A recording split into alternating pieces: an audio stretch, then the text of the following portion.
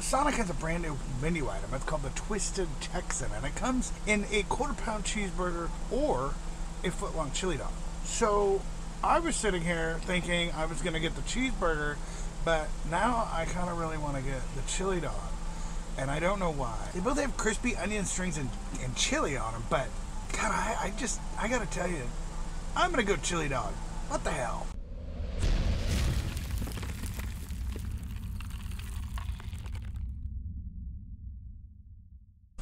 Welcome back to Brick Eats. It's your host, Brian Brickman, and that's right, today I'm at Sonic getting a foot long Twisted Texan. Whatever that is. Welcome to Sonic. My name is Dylan. How can I help today? Yeah, can I get a Twisted Texan foot long chili dog Okay. and a um, French fry and a Route 44 unsweet iced tea? Okay. And that's it. Anything else today? That'll be it. Cool. Did you need any ketchup or anything?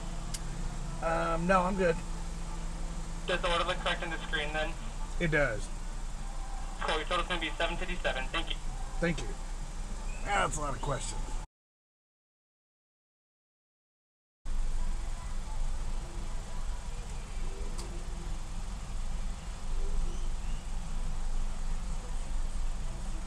How you doing today? I'm great. How are you? I'm doing good. Oh, look at that. Got your foot long quarter pounder. Anything for cheese? Thank you very much. No. Hey, you too. Thanks, man. Check this out. Look, it won't even fit in the bag. It sticks out. Oh. Get my french fries. Here it is. The Sonic. Twisted Texan. Oh, comes with a fork, too. Foot long, quarter pounder hot dog. Holy smoke. Look at the size of this thing. I'm not gonna lie. I haven't had a foot long hot dog or chili dog from Sonic since I was probably 23 years old. I mean, I used to get these a lot when I was younger and I worked construction. I don't eat these very much anymore, but man, those onion rings smell good, man. They smell real good. Look at this. They give you two buns, so it's a foot long hot dog, but they're two buns. They can't even give you one long bun. That is, that's pretty funny. Oh, touche, Sonic. So what if I just cut it in half? I guess. Hmm? Well, what the fun is that? Mm. Mm-mm-mm. You know, for a fast food place, Sonic Chili's all right. And I'm not gonna lie, that bun, that hot dog's not bad. No onion rings on top. Well, not terrible. Oh no, it's a pretty good hot dog. Nice soft bun. Can't beat it with soft bun. The chili is fine. I mean, it's pretty decent chili. I mean, I thought this is a gut bomb. I can tell you that right now. But I thought it wasn't going to be as good. All right.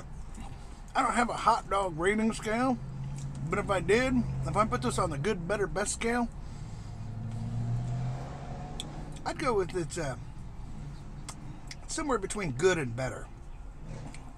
For me, hot dogs have always been not so much as hot dogs, but as where you at, right? Like when you get a hot dog at the ballpark, I mean that's a truly great hot dog because you're at the ballpark and it's a hot dog. They give you the cheapest hot dog on the planet, and you know it's good.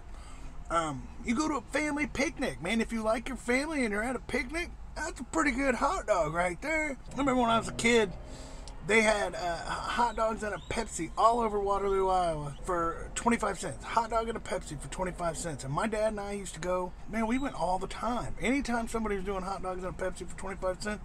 And you know what? Those were great hot dogs because they're great memories.